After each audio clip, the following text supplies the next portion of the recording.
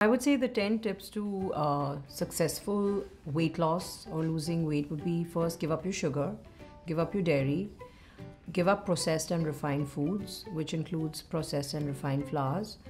Uh, give up all the stimulants. So, whether you're doing coffee, alcohol, too much of black tea, carbonated beverages like colas and sodas, give that up. Uh, include a whole grain every day, twice a day. Include leafy greens in your diet, twice a day include vegetables in your diet every meal.